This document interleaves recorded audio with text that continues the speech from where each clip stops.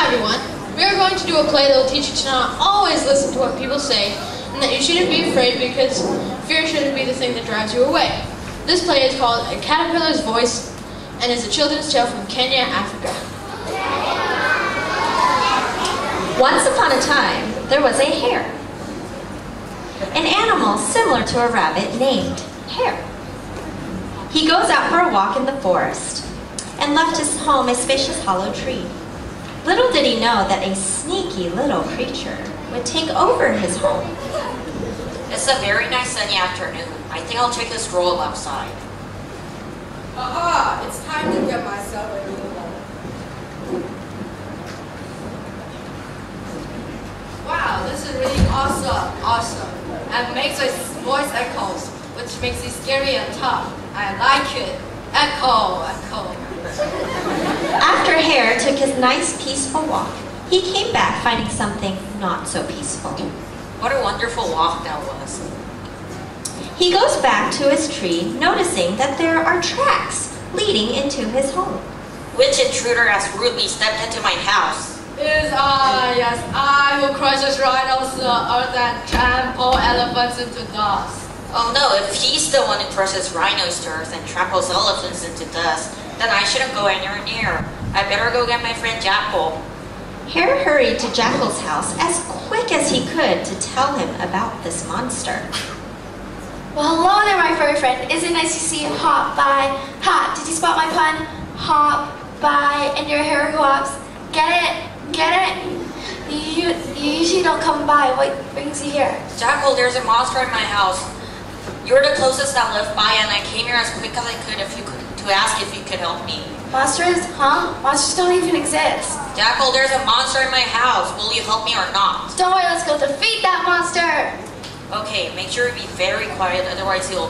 Who's there? Are you back with a friend now? I don't think you'll still like to step foot in your tree because it is I. Yes, I who crushes rhinos to earth and trample elephants into dust. Oh, I just remember that uh, I feel sick. Um, my stomach hurts. Looks like I can't help you anymore. Oh, you're not going anywhere. You're coming with me to find someone else who can actually help me. After a few moments, Hare and Jackal searched and searched to see who could help them. And there, tending her garden, was Leopard. What is it, my friends? Why are you panting? Why'd you hurry here so fast? Stop panting and speak to me. There's a monster at my house. Monster? What kind of monster? Was it big? Was it hairy? What did it smell like? I don't know. I didn't dare to take a step and I asked Jackal to help, but he's too scared. Yes, I shall be the one who saved your life. You can thank me later.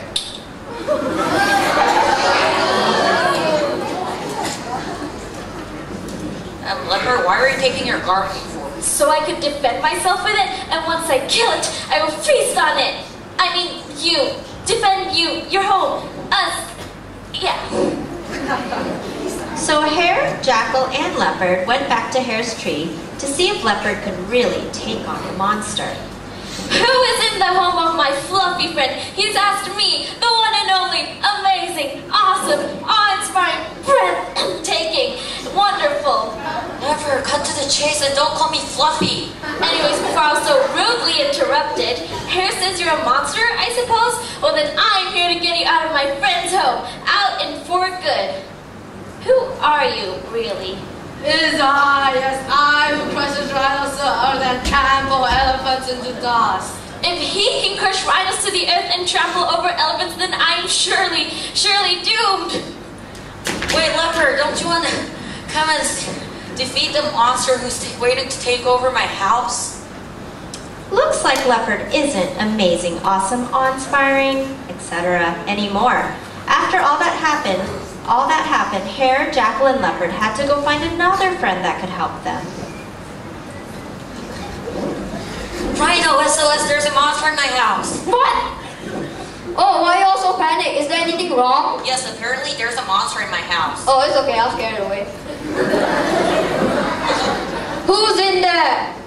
It is I, yes, I who crushes rhinos to earth and trample elephants into dust. Ah, I'm out of Crush me. Right now. I'm so tired of all this running around. Hey, Rhino, do you mind if I go into your back? Okay. All four of them thought that the next biggest animal that could definitely scare the monster away had to be the elephant. So, they went to find the elephant for help and tell her what was going on. Oh my my, I'm not helping you. I've heard all of you screaming one after the other, and it's probably because of this. So I'm not gonna risk your life.